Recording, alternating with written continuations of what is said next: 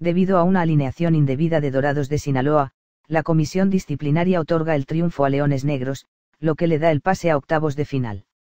La Comisión Disciplinaria de la Federación Mexicana de Fútbol da a conocer que Dorados de Sinaloa incurrió en alineación indebida en el juego de la jornada 6 de la Copa Corona MX en el que enfrentó la noche del martes a Leones Negros de la UDG, por lo que el conjunto sinaloense pierde el partido con marcador de 3 a 0 y se hace acreedor a una multa de mil más equivalente a 75.490 pesos. La comisión disciplinaria, informa que el Club Dorados de Sinaloa incurrió en una alineación indebida al celebrar su partido correspondiente a la jornada 6 del torneo de Copa Corona MX, que se celebró la noche ayer en el Estadio Jalisco ante el Club Universidad de Guadalajara.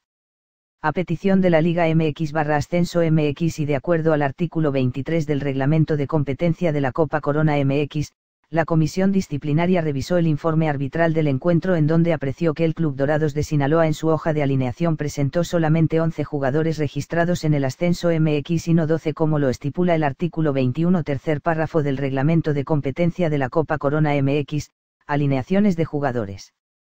Por lo anterior, se determina que el Club Dorados de Sinaloa pierde su partido ante el Club Universidad de Guadalajara por un marcador de 3 a 0. Asimismo, se hace acreedor a una sanción económica de mil UMAs. Ante esta determinación las posiciones dentro del grupo 1 se invierten. Y ahora es Leones Negros el que con seis puntos se ubica en el segundo puesto y clasifica a octavos de final como uno de los mejores segundos lugares de la competencia. Recordando que en la cancha el triunfo fue para Dorados por marcador de 2 a 1.